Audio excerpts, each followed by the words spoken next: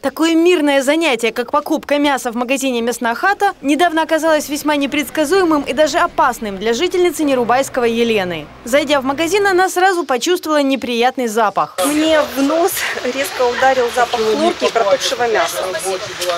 А, Меня, честно говоря, это смутило. Я спросила, поздоровалась, спросила у продавщицы, свежее ли мясо. А, Мне сказали, что, конечно, свежее, зачем я буду вас обманывать. А, Я позволила се- себе усомниться и попросила документы, там какое-то ветеринарное заключение или заключение санстанции, ну что-нибудь, да, чтобы удостовериться, что мясо свежее, потому что запах явно говорил о том, что явно здесь что-то не. И э, на что мне продавщица сказала, женщина, выйдите, я вам ничего не буду продавать. Дальнейший разговор Елена снимала на телефон. Впрочем, разговор как раз не получился. Что вы руки? Я не поняла, что вы распускаете руки? Зачем вы распускаете руки? Нормально, что ж поняла. он полез э, Зачем вы распускаете руки? Неизвестный вел себя крайне агрессивно, изрядно напугав покупателей. Елена вынуждена была забыть о видеосъемке, потому что речь в этот момент зашла об угрозе жизни. Мужчина на меня замахнулся. А, Муж э, поставил, инстинктивно поставил руку, чтобы защитить меня от удара. И э, мы, а мы увидели, мужчина этот взбеленился, он, видимо, наткнулся на руку, взбеленился и побежал за топором.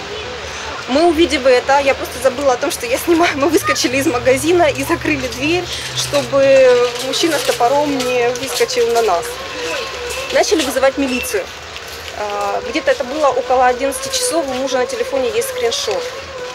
А, Милиция не отвечала. Мы сделали два звонка, милиция не отвечала. Неадекватная реакция сотрудников магазина на законную просьбу показать документы на товар позволила сделать вывод. Таковые здесь вряд ли имеются. Чтобы добиться правды и больше не подвергаться опасности, пострадавшая покупательница обратилась в Центр защиты одесситов. Я планирую обратиться в Общество защиты прав потребителей и санитарно-эпидемиологическую станцию для того, чтобы провели обследование этого магазина, выявили все нарушения, потому что они явно имеют место быть, и приняли соответствующие меры.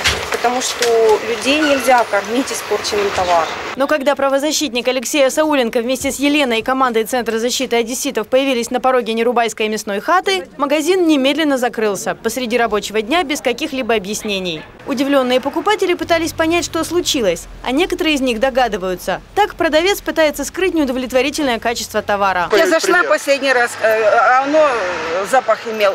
То они видно, ж, когда свежие, а это уже такой какой-то, как налетик на нем.